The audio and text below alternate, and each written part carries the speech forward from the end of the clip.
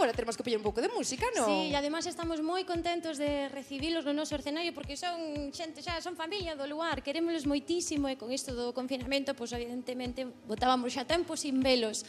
Veñen presentando novos temas, incluso un libro.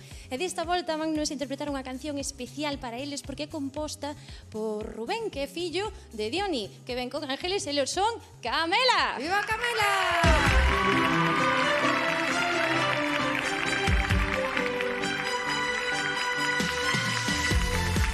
Lo nuevo de Camela. Tras la publicación de su último álbum, Rebobinando, Diony y Ángeles nos presentan su último single, Su locura, mi placer. Su mirada inocente, su sonrisa, sus labios me pierden y esa forma de andar y vivir tan locamente. Lo he decidido, iré a contarle llevo tiempo callándome, aunque sé que ella siempre será un espíritu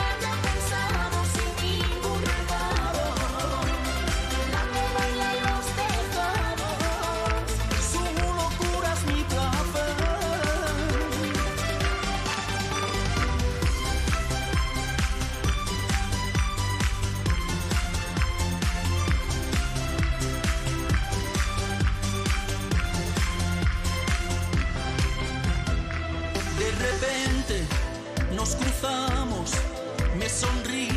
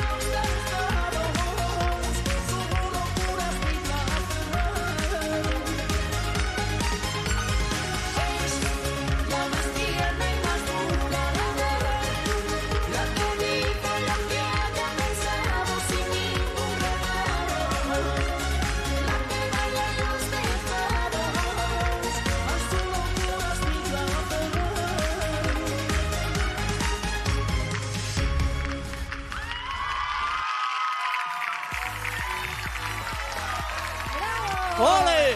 ¡Ole! ¡Ole! ¡Ole! ¡Ole! ¡Ole! ¡Ole! ¡Ole!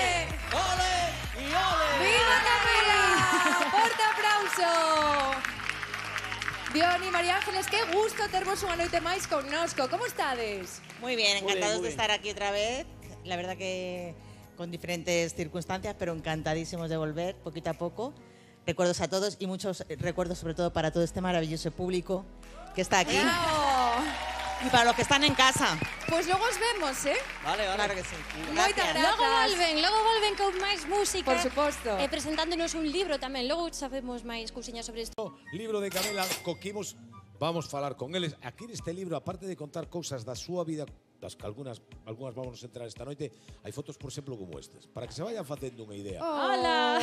Pero que riquiño. quen será Quen será o da e esta foto? outra Quen será, foto quen será Oh. Oi, que santiña. logo que cara de pregun- buena. logo preguntamos Despois, a ver, que nos saquen de dúbidas. Señoras e señores, están esta noite aquí, nos estamos encantados porque son maravillosos, porque son grandes artistas, pero son dúas persoas excelentes. Son Ángeles e Dioni. ¡Camela! ¡Vamos a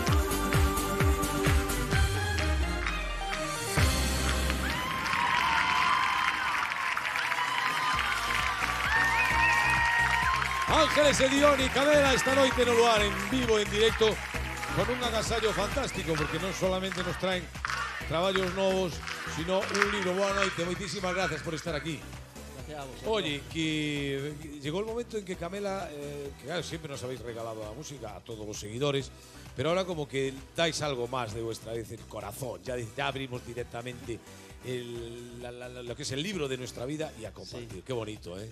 Muy bonito, la verdad que bueno, es una cosa que nos propusieron hace ya varios años, ¿no? Hacer una biografía de nuestra carrera, de nuestra vida personal. Y ya 26 años después, pues la verdad que estamos muy, muy contentos. He de decir, Galloso, que fíjate, yo estoy ya por dejar la música y dedicarme a hacer libros, porque ya va, ya va por su segunda edición. el libro, Cuidado, cuidado, y verás tú a partir de hoy. Vamos a abrir las páginas, venga, vamos a meter ahí dentro y vemos fotos y que Diony y Ángeles tienen historia. Bueno, eh, ¿cu- ¿cuál de los dos es Diony, no? Es como la Rosarito, como la Rosarito en el ombligo. Para los que lo estáis viendo, el- el- el- so- yo soy el de la... el- a ver, El de la derecha, sí. el de la derecha. A dos patas. bueno, ¿no? dependiendo... Yo soy el de la derecha, ¿eh? Bien, ahí Diony, ahí Diony. Sí.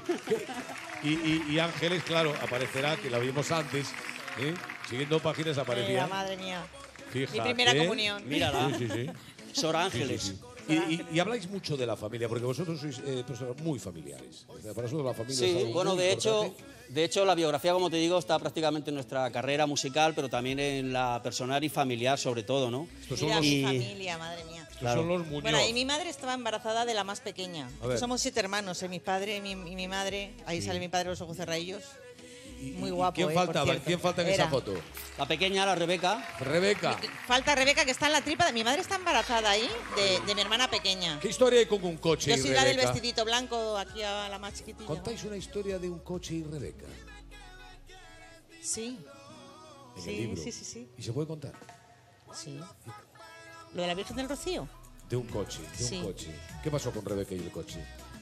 A ver, a mí me, me- una vez me salió la Virgen del Rocío, o sea, perdón, yo pegué una pegatina de mi coche de la Virgen del Rocío hace ya mucho tiempo. Sí. Y un invierno que se empañaron los cristales, pues me salió una cruz muy cuadrada, o sea, una cruz de estas que son el palo muy largo, ¿sabes? Eh, como, como si fuera empañada cuando escribes con el Sí, dedo, pero, el sí. pero sin escribir. O sea, era súper cuadrada, nunca me había pasado nada en la vida igual. Y yo le pregunté a una vidente, porque a mí, claro, eso tan cuadrado, tan perfecto, era algo súper ex- extraño. extraño. Y la vidente me dijo que pusiera una cruz. Y entonces le puse una cruz. Y cuando le regalé a mi hermana un coche, cuando era cuando sacó el carnet por Reyes, una. A Rebeca. Sí, porque era la pequeñita, claro. Sí. No podía comprarle una a cada, a cada hermano, pero bueno. Como era la pequeñita, pues se lo compré a ella, un, un Peugeot pequeñito. Y le regalé con la Virgen pegada. Y a, y a mi, herma- a mi madre, perdón, a mi hermana le salió una cruz, pero hecha con un dedo. Y es que esta historia se la conté a mi padre, lo que me pasó a mí, y, y mi padre falleció de cáncer. Mi padre no creía nada en esas cosas, entonces es como que nos dijo, Algo para... no sé, son cosas que mi hermana y yo pensamos que es así, no sé. Bueno, y Como que necesito una marca de que tenía yo razón, ¿no? Está bien, os metéis ahí en el libro en cosas importantes. La familia de Camela, la familia de Diony, que también estábamos, que aparece también en el libro, ¿no? También tengo que decir que hay una anécdota ahí que se dice que yo un día en una, en una cena Sí, con gente de la compañía, cuando estábamos a punto de firmar con EMI, sí. eh, pidieron un vino caro. Un vino que valía 16.000 o 20.000 pesetas delante, unos 100 o 120 euros de ahora, un vino caro. sí. Yo la verdad no había pisado un restaurante de cinco estrellas en mi vida. Entonces, claro, yo como vi el vino y yo en mi casa estoy acostumbrado a tomar vino con gaseosa, pues yo me pedí una gaseosa. Entonces, claro, entonces yo llegué y mezclé, mezclé el Eh, vino con la gaseosa. ¿no? claro, algo, Y eh. entonces pues me echaron luego la bronca de que yo había mezclado un vino bueno con gaseosa. Digo, yo creo que es al contrario. He mezclado la gaseosa con un vino que no... En todo caso le dijiste, he estropeado un poco la gaseosa. He estropeado un poco la gaseosa, pero bueno. Bueno, oye, había una foto de ahí de enamorados, ¿erais? Eh, vamos a ver, pues que hay algún despistado. Esa es mi sabe. madre, Ah, Lucía. Lucía.